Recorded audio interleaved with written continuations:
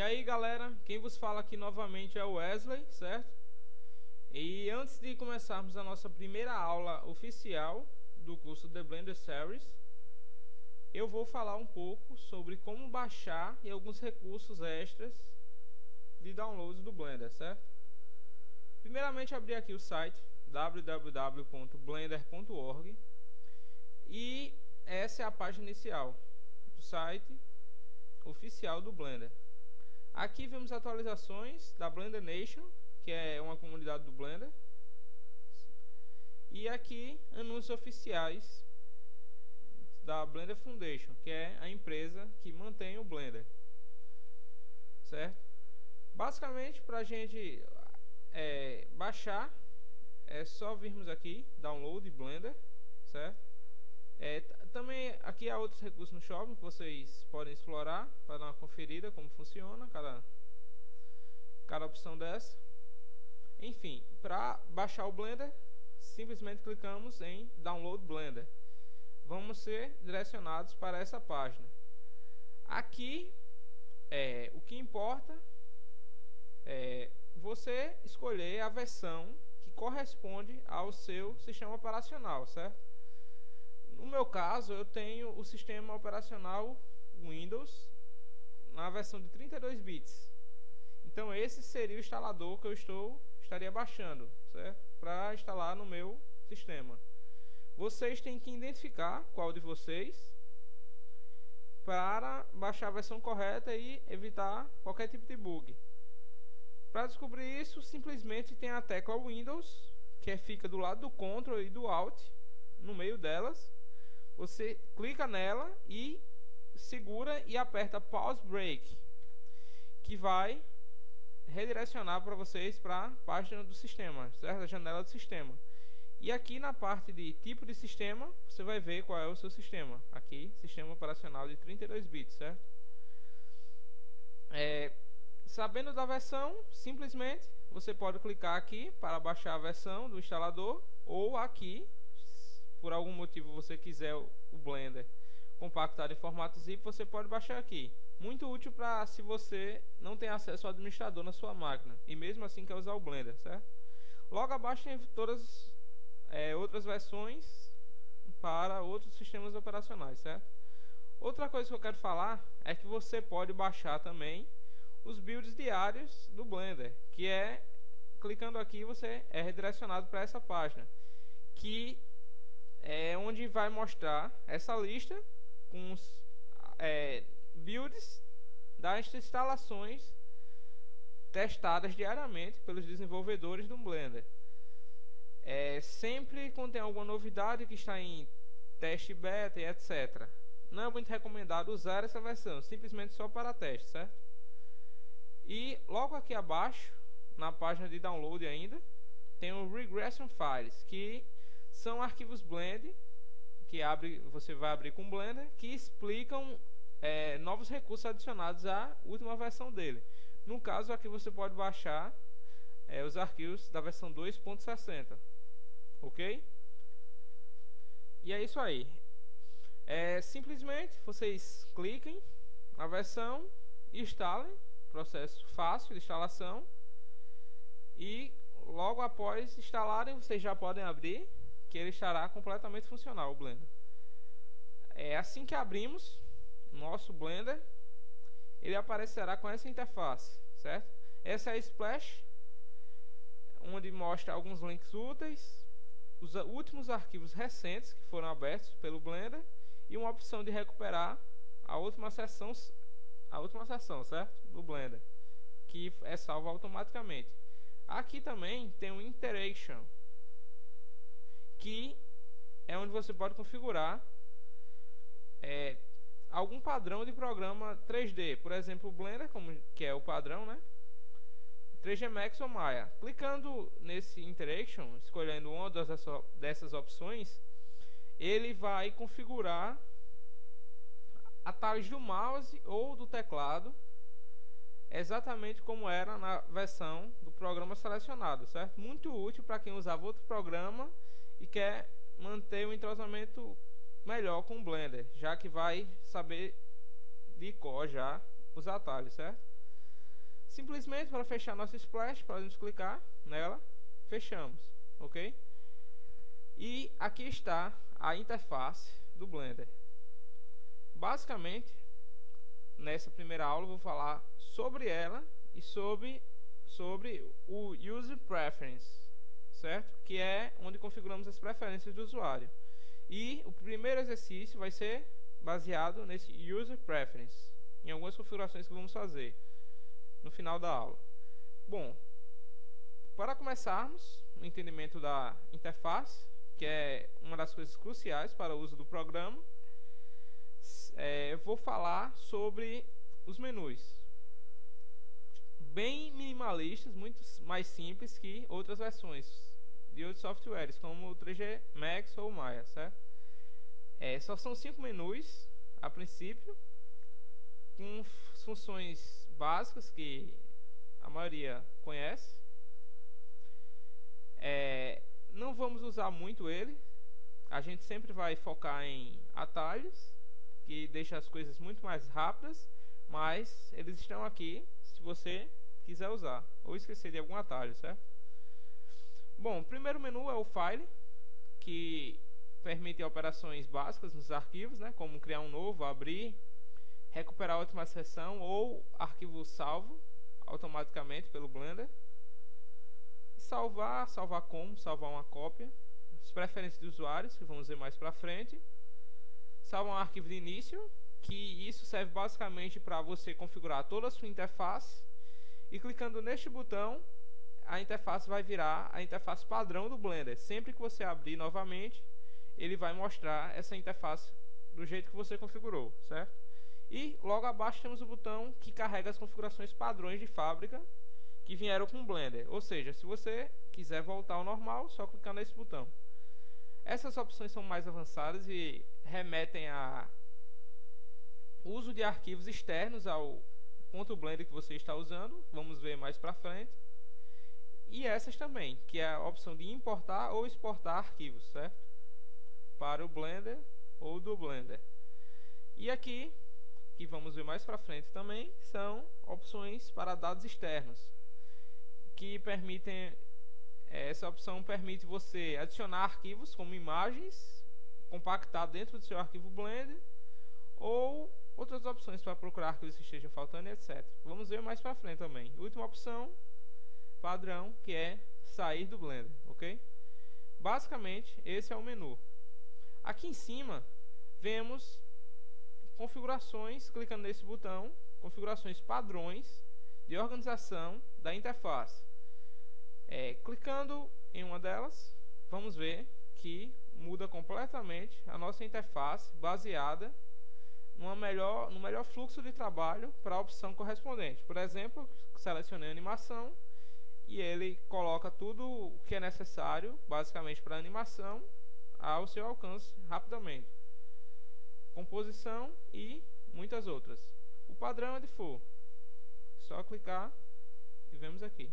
Aqui serve para nós procurarmos cenas. Se no nosso Blend tiver muitas cenas, aqui nós vamos poder procurar e entrar em uma delas, certo? Clicando aqui no mais, adicionamos novas cenas e aqui deletamos a cena ativa. Aqui basicamente vamos escolher qual renderizador vamos usar, usar para renderizar o engine, que é a Game Engine do Blender, certo? Vamos ver cada um deles um pouco mais para frente no curso, certo? Aqui mostra as opções cruciais também, que é a versão do Blender, número de vértices, face e triângulos, que estão atualmente na tela selecionados ou sendo mostrados número de objetos, lâmpadas, memória que está sendo usada e o objeto atual selecionado, certo? É, às vezes é muito útil nós vermos essas opções para ter um controle do que estamos fazendo, ok? É, logo no centro da nossa tela encontramos a cena 3D, certo? A vista da nossa janela 3D, 3D View.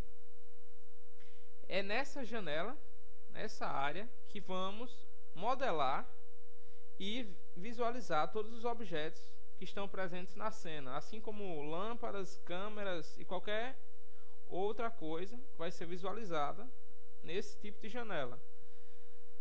É, aqui embaixo nós vemos os eixos, certo? O ângulo dos eixos também, que eles estão na tela.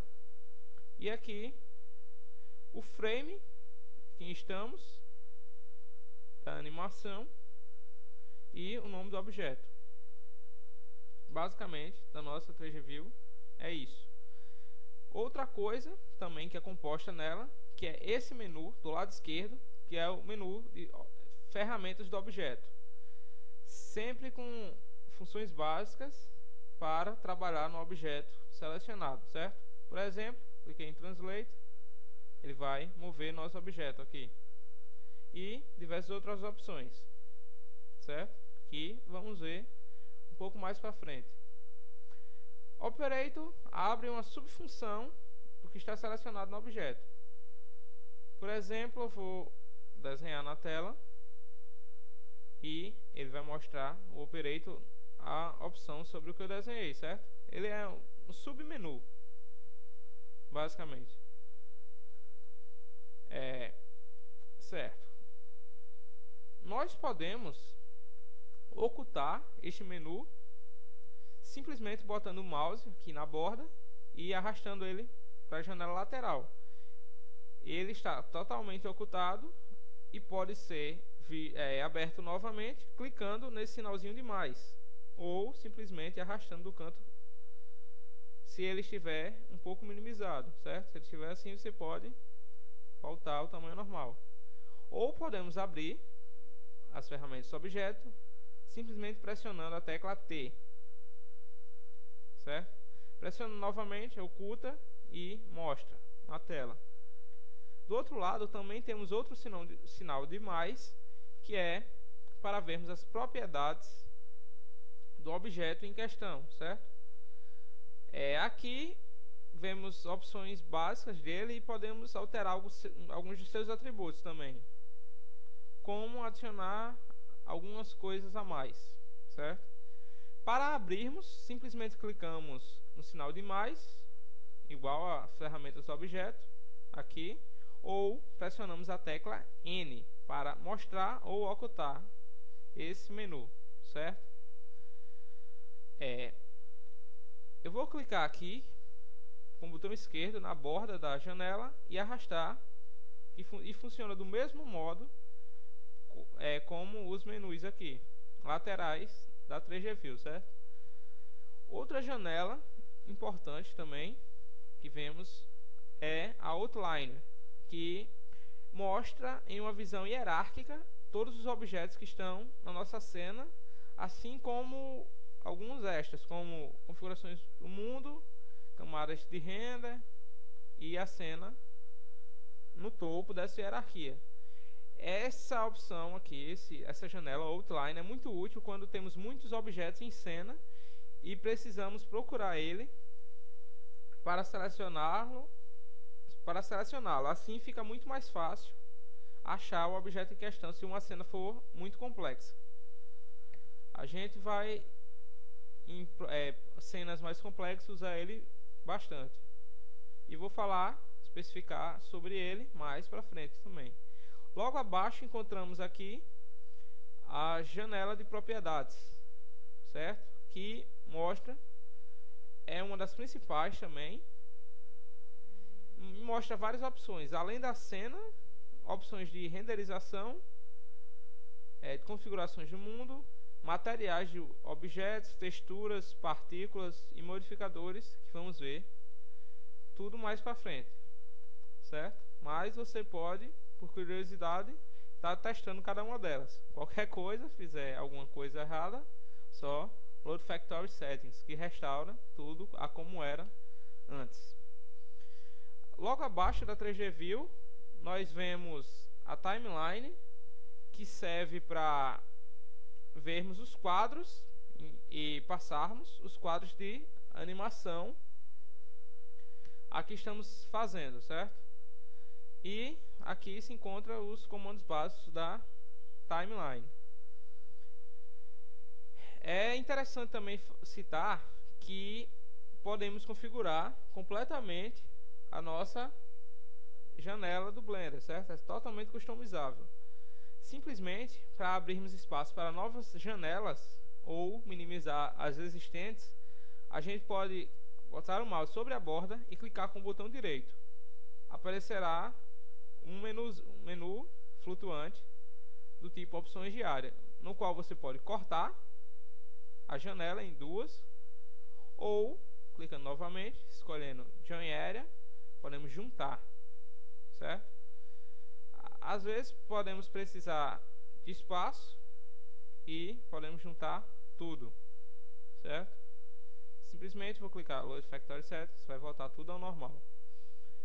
Também podemos separar, além de clicar na borda, usando essas abas das laterais das páginas, certo? Clicando, arrastando para a esquerda, nós vamos cortar a janela em duas, ou e arrastando para a direita, nós vamos juntar as janelas. É, na vertical, funciona, arrastamos para cima, nós vamos cortar a janela e arrastando para baixo, juntar. Simplesmente assim organizamos do, do nosso jeito, certo? Nosso modo, a nossa interface do Blender. Bom, e uma última coisa a se falar sobre a interface do Blender é sobre esses pequenos quadradinhos com o ícone no canto de cada janela. Eles simplesmente servem para mudar o tipo de editor em que estamos na janela atual, certo? Clicando nele, nós vamos ver todos os tipos de editores disponíveis no Blender e podemos escolher qualquer um e ele mudará a sua visualização, certo? É, desse modo aqui, arrastando e mudando, é que trabalhamos com qualquer coisa no Blender. Simplesmente assim, ok?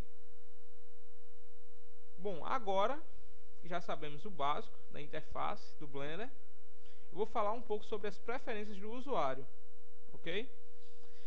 Para acessá-las, você simplesmente vai no menu File, Users, User Preference, ou usa o atalho Ctrl Alt U.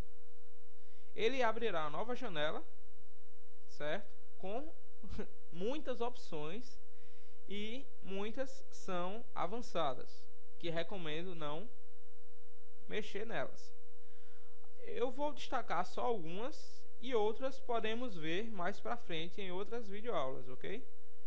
Bom, na primeira aba interface, eu recomendo desmarcar a opção Show Splash se você não quiser ver a splash a cada vez que você iniciar o Blender. Se você acha que ela não é útil. E a, essa opção aqui de baixo, eu recomendo marcá-la, Prompt Kit. É, ela corresponde a o Blender mostrar uma janela de confirmação de saída quando você clicar no botão X, aqui, no botão de fechar da janela.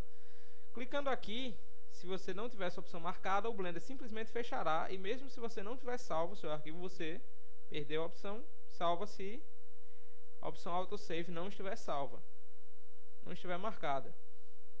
Recomendo marcar para ter uma certeza antes de qualquer coisa, ou se você fechar sem querer a janela, aqui vai ter uma segurança a mais, mas fica a sua escolha. OK? É, na aba de adição, você pode marcar essa opção para sempre que adicionar um novo objeto, já entrar automaticamente no modo de adição, que vamos ver mais para frente. Por enquanto, recomendo deixar normal. Aqui, você pode aumentar o número de desfazer, ações de desfazer, é, no Blender, que é o famoso Ctrl Z. Quanto maior o número, mais você pode voltar certo? Mais você pode fazer ações, mas também vai aumentar é, a, o uso da memória, certo? Eu recomendo deixar 32, que é uma quantia já muito grande, ok? É, na aba input, vamos ver no, é, mais para frente, é, corresponde a atalhos, a maioria dos atalhos das opções do Blender. É, basicamente não vamos mexer nela, só se formos criar algum ou importar ou exportar as configurações de teclas. É, o Blender, naturalmente, é, é, ele seleciona os objetos com o botão direito do mouse. Você pode trocar, mostrando mais uma vez que ele é totalmente adaptável para o botão esquerdo e sempre selecionar os objetos com o botão esquerdo. Recomendo deixar no direito, que é onde você vai ver nas maioria dos, é, na maioria dos tutoriais. E é só uma questão de costume. Rapidamente você vai pegar o jeito e vai nem achar que isso é um problema. Se você está achando agora. É, aqui a velocidade de clique do mouse. Não precisa mexer. E essa opção eu acho muito útil para quem tem um é, notebook e não tem o teclado numérico que nós usamos no Blender para mover entre as visões da 3G View.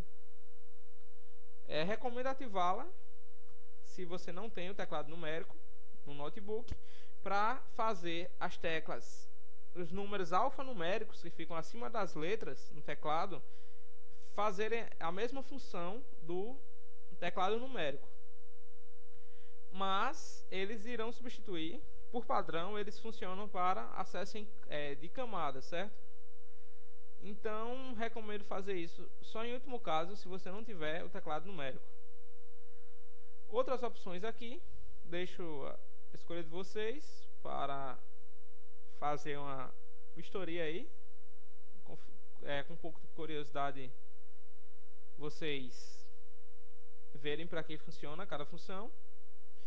Próxima aba, ADD11, onde vamos ativar, desativar ou instalar plugins. Não vamos usar nenhum agora, mais para frente eu explico sobre eles.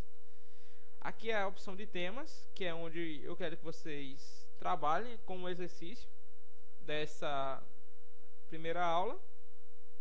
No final dessa aula, agora eu vou mostrar o exercício que vocês devem fazer para ir treinando na interface.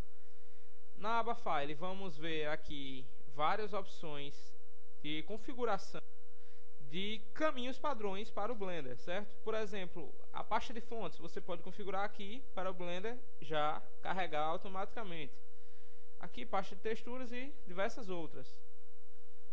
Logo aqui abaixo, na aba File, você vê opções de autosalvamento. Aqui o tempo em que os autosalvamentos vão ser feitos, você pode aumentar ou diminuir número de versões salvas e número de arquivos recentes mostrados, tanto no menu quanto na splash. Por, é, por agora, eu só vou falar sobre isso da aba File. E, por último, a aba System é mais avançada. Não vejo é, para que, certo? Não tem função de tratar nela, dela agora. Então, eu vou falar nela sobre algumas coisas mais para frente. Bom, eu vou pausar o vídeo agora e volto com a interface de exercício que quero que vocês reproduzam do mesmo modo no seu Blender para treinar a, o entrosamento com o Blender, certo? Com a sua interface. Daqui a pouquinho eu estou voltando e mostro a interface que eu quero que vocês façam. Bom, aí está a interface que eu gostaria que vocês reproduzissem no Blender de vocês como exercício de total domínio sobre a interface. Eu tô, vou estar disponibilizando na página do Facebook essa imagem com é, essa configuração sendo mostrada nela para ficar mais fácil para vocês. É, só em algumas coisas, certo? Não quis muito complicar a vida de vocês mas já dá, se você conseguir é, reproduzir essa mesma imagem, já vai dar para você ter um bom início de entrosamento com a interface básica do Blender, certo? Espero que tenham gostado dessa nossa primeira aula e volto semana que vem com a próxima videoaula, que vai ser sobre objetos e suas transformações básicas, certo? Então, é, até mais e boa sorte aí com o exercício de vocês.